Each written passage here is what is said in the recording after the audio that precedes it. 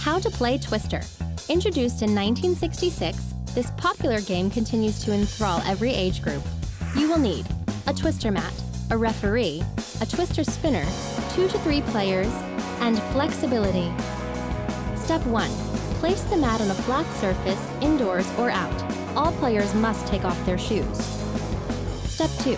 Pick your game's referee. The referee will spin the spinner, call out the moves, and supervise the game. Step 3. Position two players on opposite ends of the mat near the word twister. Players put one foot on the yellow circle and the other foot on the blue circle closest to their end of the mat. For a game with three players, the additional player faces the center at the red circle side of the mat, placing one foot each on the two middle red circles. Step 4. Follow the referee's directions after each spin. Each player must try to put the designated body part on an empty circle of the called color. If your designated hand or foot is already on a circle of the called out color, you must move it to another circle of the same color. Step 5. Eliminate players if they fall or touch the mat with their knee or elbow.